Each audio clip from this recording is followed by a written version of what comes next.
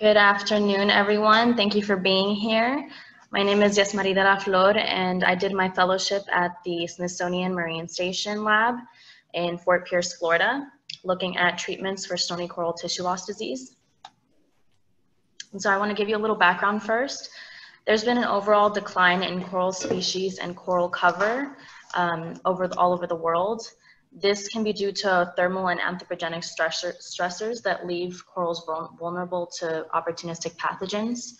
And due to that, disease outbreaks have devastated coral reefs very severely.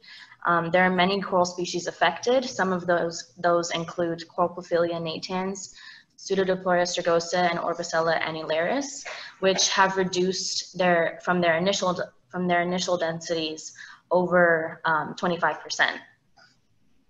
Um, so why are coral reefs important? That's a very good question. Um, well, in addition to them being beautiful, of course, uh, they are very important for a lot of marine ecosystems. A lot of, um, a lot of marine organisms use coral reefs as their habitat, and they also protect our shorelines from natural disasters. In addition to that, they provide um, economic support. Uh, reef-related activities contribute to $6.1 billion and support 71,000 jobs annually in Florida specifically.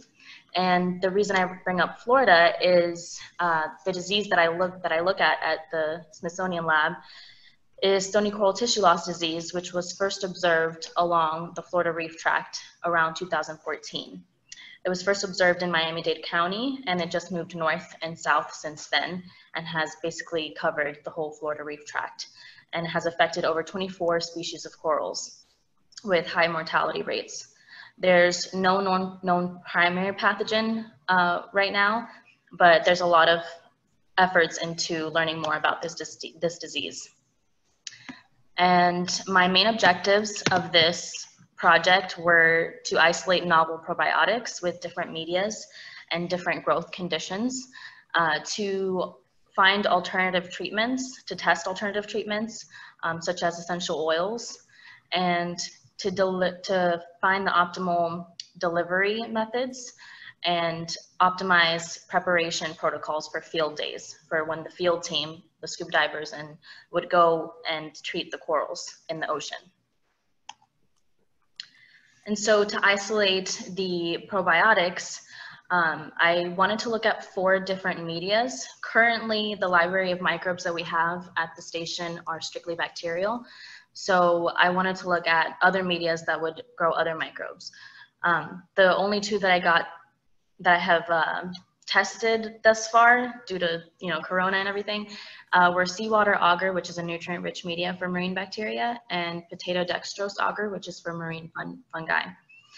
Um, so when i get when we get back uh, soon hopefully uh, i will be using minimal media and actinomyces media as well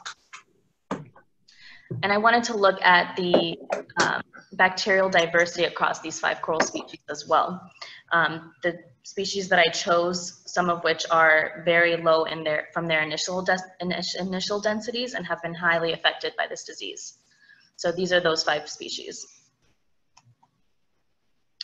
And so my isolation methods first started with cutting fragments of the coral and then putting them in conical tubes where I could agitate them by vortexing.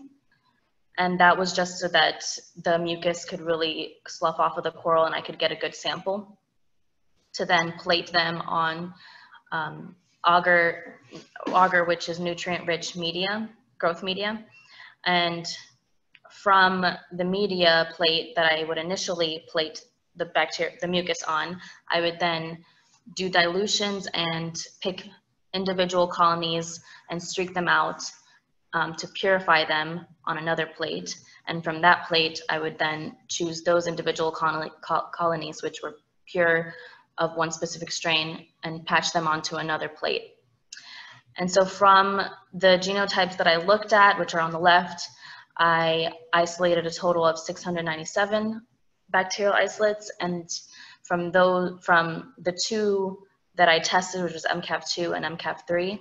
I did assays on those genotypes and from those two genotypes, there was 14 that were inhibitory isolates. So basically I tested those, those isolates against bacteria that was pathogenic, known from this disease, and 14 of those isolates were, um, were inhibitory. Another thing that I looked at was alternative treatments. Um, we, we need, we, we have a, a, secondary pathogen that we know of, which is Vibrio coralliilyticus, and in order to, to treat that pathogen, we are looking at essential oils.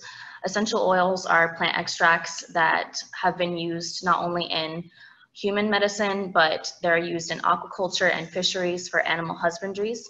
These plant extracts are antimicrobial, antifungal, antiparasitic. Um, they have all of these properties and they have been used in fishery studies, um, which have tested different essential oils against bacteria strain, bacterial strains uh, to use as preservatives um, that prevent microbial contamination and the growth of foodborne pathogens. These essential oils are also much more cost effective compared to manufactured drugs like antibiotics.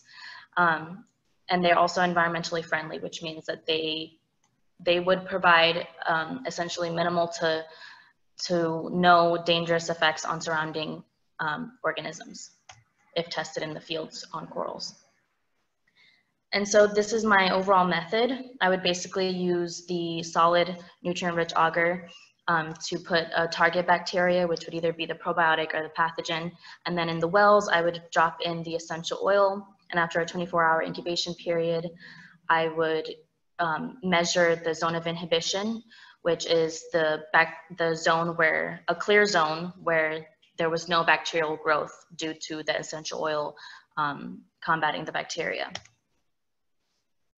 And these are the results from my probiotic assays against the essential oils. so we want a treatment that won't negatively affect the probiotics. Uh, from here, you can see that some of the oils like clove, peppermint, and cedarwood had absolutely no activity against the probiotics. But when I tested those against the pathogens, they had no activity against the pathogens either. So not useful. Um, one one essential oil, cinnamon, had very high activity against the um, against the probiotic, which wouldn't be good either because if we use these treatments together, if we use essential oils and probiotics together in the field, we don't want the essential oils to essentially cancel out the probiotics. And so I found that lemongrass was a pretty promising alternative treatment. It had low activity against the probiotic, but high activity against some of the Vibrio strains and other bacterial strains. And in addition to doing the essential oil assays, I also looked at different field deployment methods. I looked at encapsulation. Um, so basically it's like a little um, essential oil caviar ball.